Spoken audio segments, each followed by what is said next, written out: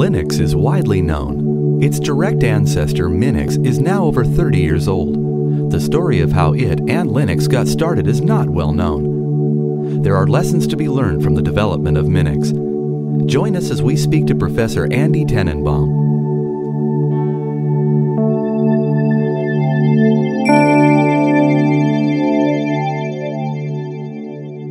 After AT&T's lawyers had forbidden the teaching of Unix in uh, classrooms, I decided to write my own version of Unix v7 so students could learn all about it and study the operating system code.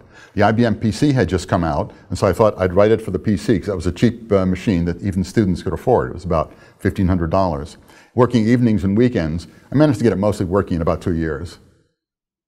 The initial development was done on my uh, PC at home using Mark Williams Coherent. I had to use Coherent because I didn't have a C compiler.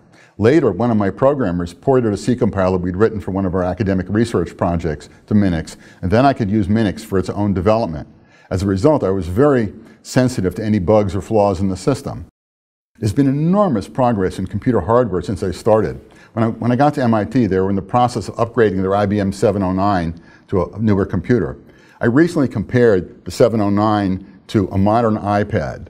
An iPad is 70,000 times faster, got 7,300 times as much RAM, 1,000 times more external storage, and one ten thousandth of the price.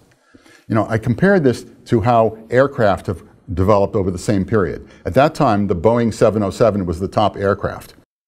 If aircraft had developed the same way computers have in the same time period, you could fly from London to San Francisco in 12 seconds, the plane could hold 2 million people. It could fly around the Earth 300 times nonstop, and a ticket would cost 16 cents.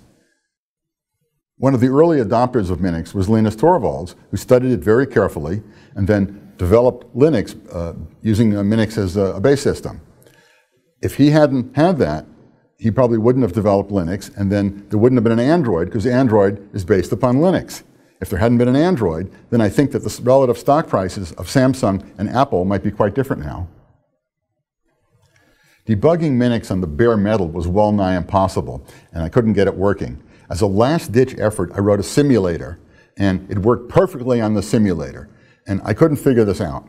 I mentioned this to one of my students, and he said, You know, the 8088 gives interrupt 15 when it gets too hot. And I said, Where'd you hear that? And he said, I heard it somewhere. And I said, It's not on the documentation, but he insisted he heard it somewhere. So I put in code to catch interrupt 15. Why microkernels? My interest is in simple, reliable software. When you divide software into pieces, you've got smaller chunks, and it's easier to understand what they do, so it's less likely there'll be bugs in it.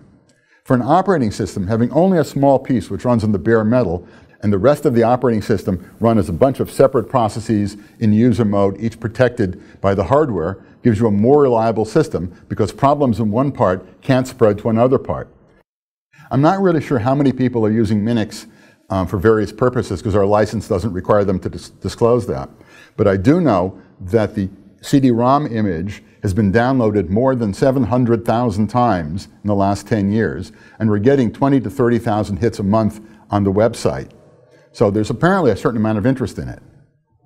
The focus for the future is building a simple, reliable, fault-tolerant, self-healing system that could be used in embedded systems. For example, space flight, hospital systems, nuclear reactors, banking systems that have to be online 24-7, and other things very high reliability is important.